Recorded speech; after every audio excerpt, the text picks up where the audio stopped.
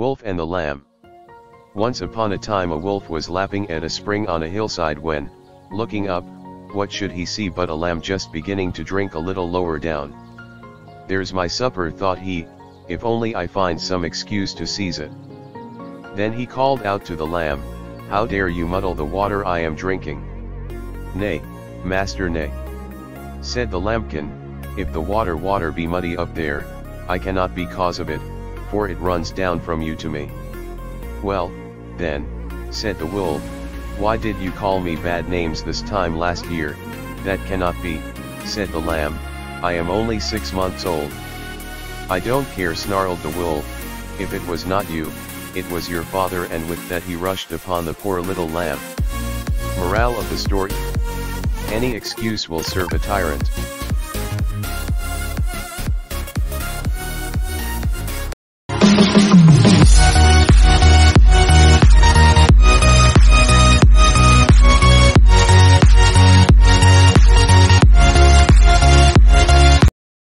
Dog and the Shadow It happened that a dog had got a piece of meat and carrying it home in his mouth to eat in peace. Now on his way home, he had to cross a plank lying across the running brook. As he crossed, he looked down and saw his own shadow reflecting in the water beneath. Thinking it was another dog with another piece of meat, he made up his mind to have that also. So he made a snap at the shadow in the water, but as he opened his mouth, the piece of meat fell out, dropped into the water and was never seen again. Morale of the story, be aware lest you lose the substance by grasping at the shadow.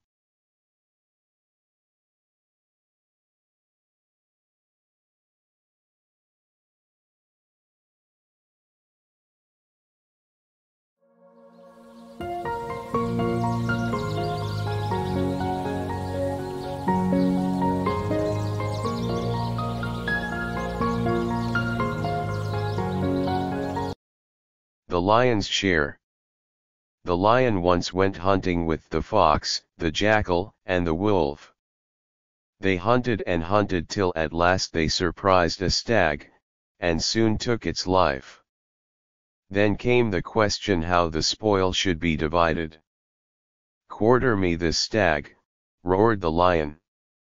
So the other animals skinned it and cut it into four parts. Then the lion took his stand in front of the carcass and pronounced judgment. The first quarter is for me in my capacity as king of beasts. The second in mine as arbiter. Another share comes to me for my part in the chase. And as for the fourth quarter, well as for that, I should like to see which of you will dare to lay paw upon it. Humph grumbled the fox as he walked away with his tail between his legs, but he spoke in a low growl. You may share the labors of the great. But you will not share the rewards.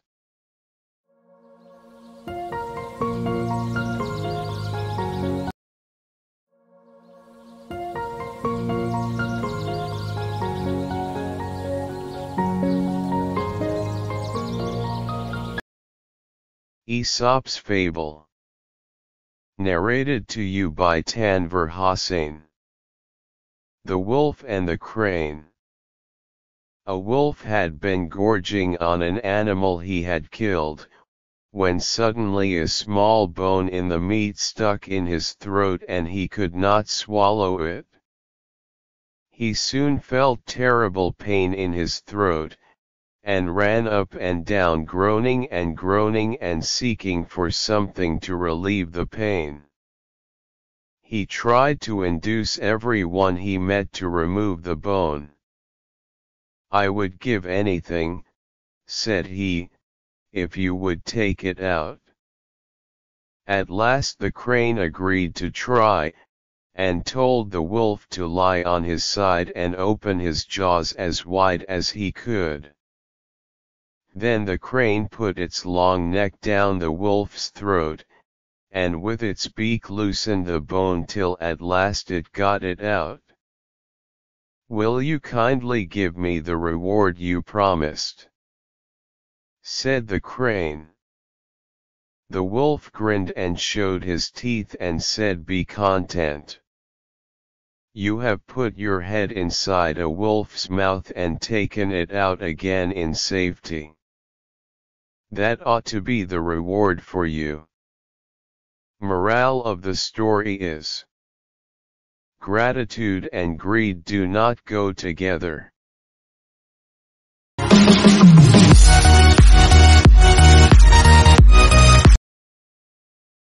The Man and the Serpent.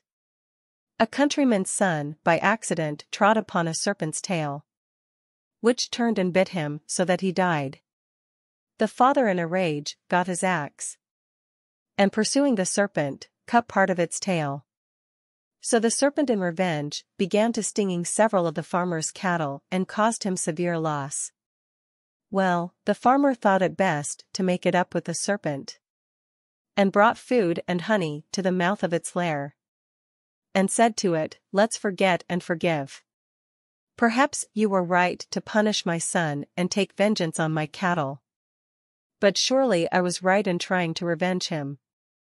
Now that we are both satisfied, why can't we be friends again?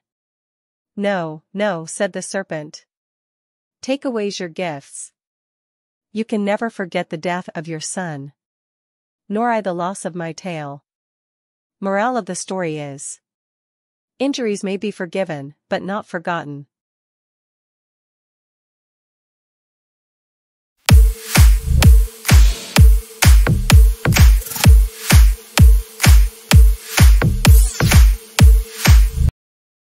A town mouse once upon a time went on a visit to his cousin in the village.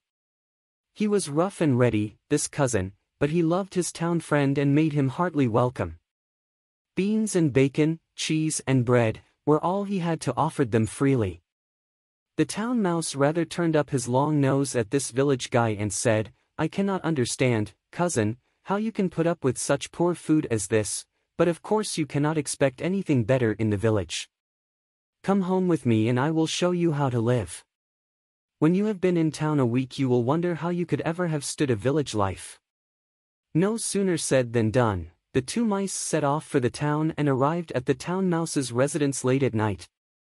You will want some refreshments after our long journey said the polite town mouse, and took his friend into the grand dining room. There they found the remnants of the a fine feast, and soon the two mice were eating up jellies and cakes and all that was nice. Suddenly they heard growling and barking. What was that? asked the village mouse. It's only the dogs of the house, answered the other.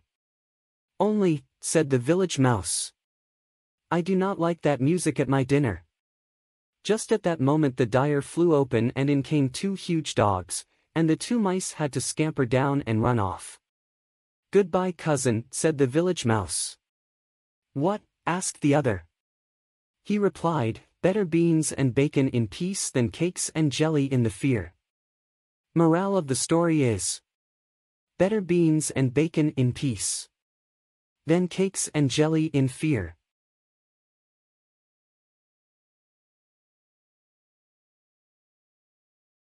The Fox and the Crow A fox saw a crow fly off with a piece of cheese in its beak and settle on a branch of a tree. That's for me, said the fox. And he walked up to the foot of the tree. Good day, beautiful crow, he cried. How well you are looking today. How glossy your feathers are. How bright your eyes. I feel sure, your voice must surpass that of other birds. Just as your figure does. Let me hear a song from you that I may greet you as the Queen of Birds. The crow lifted up her head and began to sing her best. But the moment she opened her mouth the piece of cheese fell to the ground. Only to be snapped up by the fox. That will do, said the fox. That's what I wanted. In exchange for your cheese, I will give you a piece of advice for the future. Do not trust flatterers.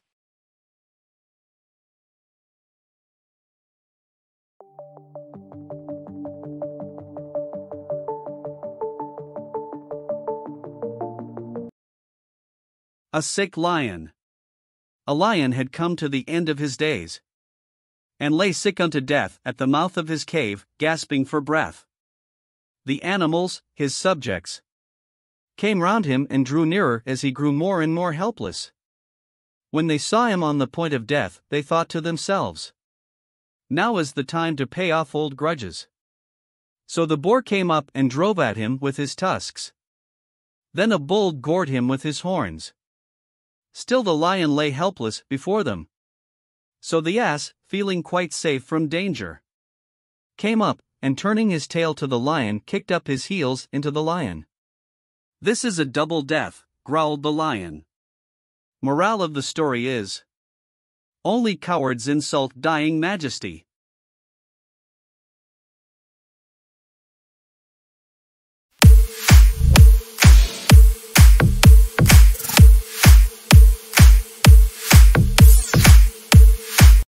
The Lion and the Mouse. Once, when a lion was asleep, a little mouse began running up and down upon him. This soon wakened the lion, who placed his huge paw upon the mouse and opened his big jaws to swallow him. Pardon me, O king, cried the little mouse. Forgive me this time, I shall never forget it. I may be able to return this favor one day. The lion was so tickled at the idea of the mouse being able to help him that he lifted up his paw and let him go. Some time later, the lion was caught in a trap. And the hunters, who desired to carry him alive to the king, tied him to the tree, while they went in search of Awagan to carry him on. Just then the little mouse happened to pass by. And seeing the sad plight of the lion, went up to him, and soon gnawed away the ropes that bound the king of the beasts. Was I not right? said the lit mouse. Morale of the story is Little friends may prove great friends.